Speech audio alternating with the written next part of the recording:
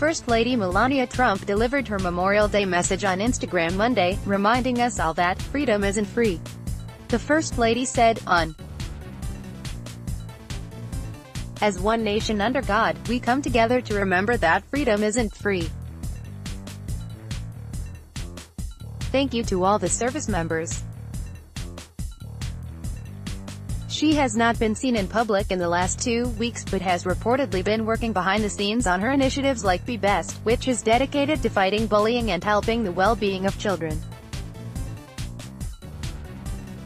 Related, Melania Trump hasn't been in public in two weeks. What she's been doing instead shows where her true heart is. Washington, D.C., May 7, U.S.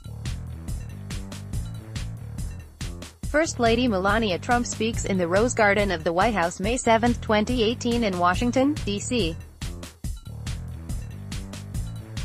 Trump outlined her new initiatives, known as the Be Best program, during the event. Photo by Win McNamee, Getty Images, Washington, D.C., May 9, U.S. President Donald Trump hugs First Lady Melania Trump during an event to celebrate military mothers and spouses, in the East Room at the White House on May 9, 2018 in Washington, D.C. Photo by Mark Wilson, Getty Images, U.S. President Donald Trump top L, and his wife Melania Trump top R, walked down the stairs with U.S. detainees Tony Kim, second from bottom, Kim Dong-chul, bottom, and Kim Hak-song, C, upon their return after they were released by North Korea, at Joint Base Andrews in Maryland on May 10, 2018.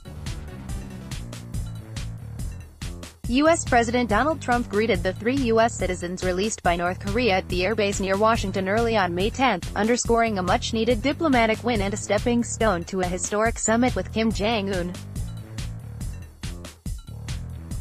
Photo by Saul Loeb, AFP. Photo credit should read Saul Loeb, AFP. Getty Images. Follow Justin on Twitter.